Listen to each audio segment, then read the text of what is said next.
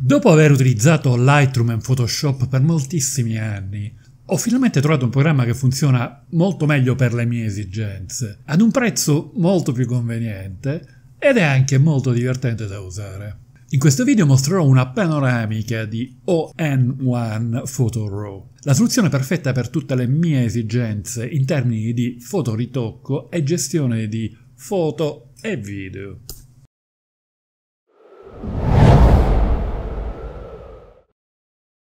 Durante gli anni ho ricevuto domande da utenti che cercavano un'alternativa a Lightroom e Photoshop, in molti casi per evitare il piano di abbonamento e ottenere un'opzione più economica, possibilmente con un prezzo una tantum.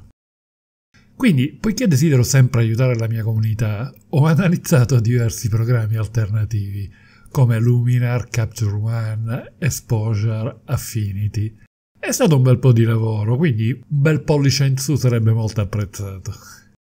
Sono rimasto sorpreso dalla qualità media di questi programmi e dai progressi nell'uso dell'intelligenza artificiale. Mi aspettavo dei tentativi di repliche di Lightroom e Photoshop di basso livello, ma alcuni di questi programmi competono seriamente con l'offerta Adobe, almeno in alcune aree specifiche. Ma nessuno di questi programmi offre una soluzione completa a ciò di cui ho bisogno. L'area in cui sono generalmente carenti è la gestione della mia libreria di foto e ancora di più dei video, che per me è una necessità fondamentale.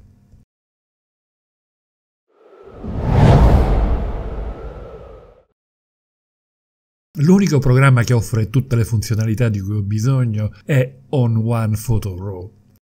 Ha praticamente le stesse capacità di Lightroom in termini di gestione di foto e video, con l'ulteriore vantaggio che è possibile lavorare sulle foto anche senza aggiungere al catalogo, il che è utile in alcuni casi.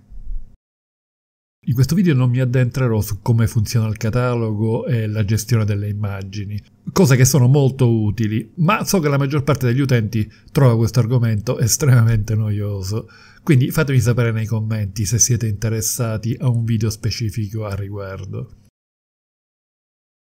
Mostrerò invece una rapida panoramica sulle capacità di editing di questo programma, che offre le funzionalità più interessanti di Lightroom e di Photoshop.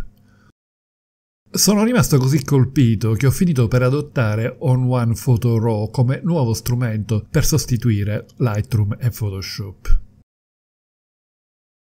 Ho deciso anche di diventare un affiliato, quindi se siete interessati all'acquisto di questo prodotto e utilizzate i link forniti nella descrizione, guadagnerò una piccola commissione che aiuta davvero il canale. Ma la scelta di adottare On One Photo Raw è dovuta al fatto che lo considero di gran lunga la soluzione migliore per quello che mi serve. Troverete tutte le diverse opzioni di prezzo nella descrizione in basso.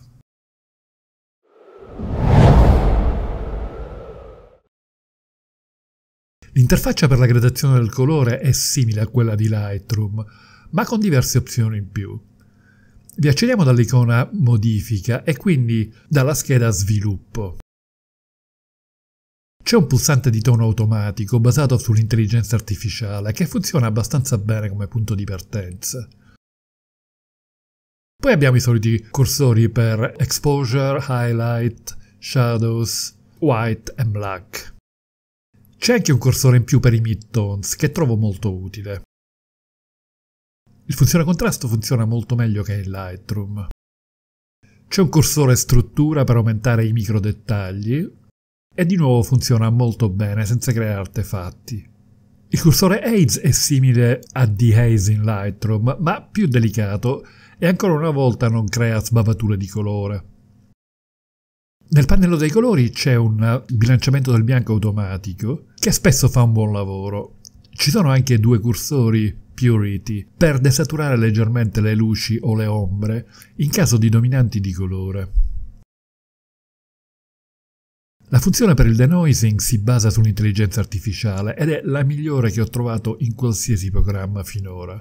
Come si può vedere con un semplice tocco, il rumore è completamente sparito senza perdita di dettaglio. È ovviamente possibile effettuare la messa a punto con i singoli cursori.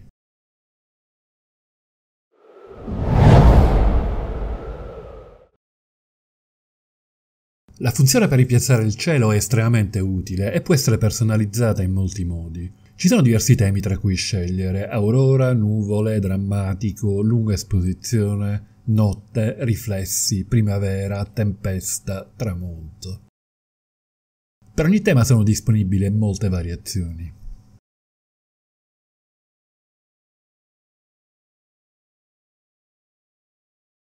Dopodiché abbiamo una serie di opzioni per la messa a punto. Possiamo spostare il cielo verticalmente, ridurre l'opacità, sfumare il bordo, ingrandire per regolare il motivo, modificare la temperatura e la luminosità, sfocare le nuvole. Possiamo anche controllare come la luce del cielo influenza gli elementi a terra, selezionando la tonalità, l'intensità e la distanza della luce. C'è anche una scelta di blending mode, ma suggerisco di lasciarla su multiply. Da questo tasto si accede ad un modulo specifico per i ritratti. I volti vengono rilevati automaticamente ed è possibile applicare ogni tipo di ritocco della pelle, modificare la luminosità del viso, snellire il viso, modificare individualmente le dimensioni degli occhi. Sono inoltre presenti una serie di cursori per il ritocco degli occhi e della bocca.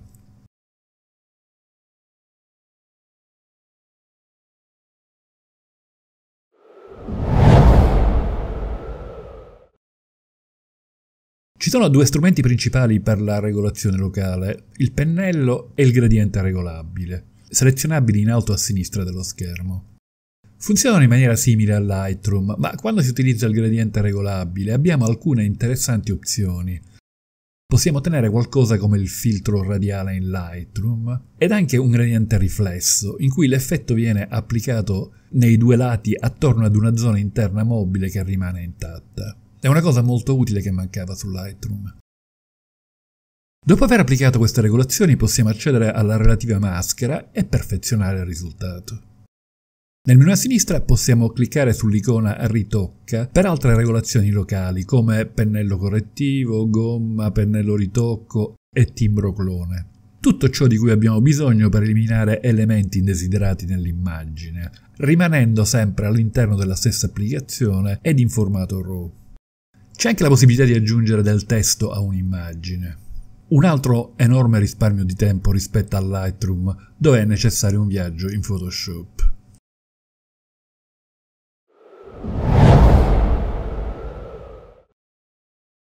Con questo tasto possiamo accedere a una serie di filtri che permettono di aggiungere ogni sorta di effetto speciale alla nostra immagine.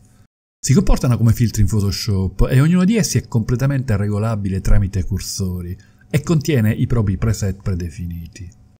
Potrei fare tutta una serie di video analizzando questi effetti, poiché aprono enormi possibilità creative. Ogni effetto ha la propria maschera, che può essere modificata, per applicarlo soltanto a una porzione dell'immagine. Nella parte sinistra dello schermo abbiamo una scheda di preset che sono costituiti da combinazioni di effetti e possono anch'essi essere regolati e mascherati. Consiglio vivamente di passare un po' di tempo con effetti e preset, le possibilità sono infinite ed è molto divertente.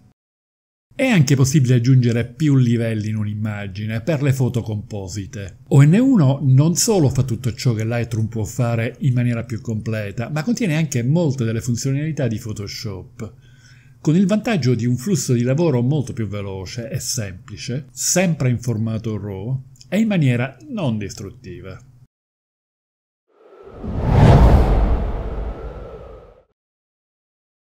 On1 contiene anche strumenti per HDR, eh, panorama, focus stacking e timelapse. Ci vorrebbe troppo tempo per analizzarli qui, farò dei video specifici se siete interessati.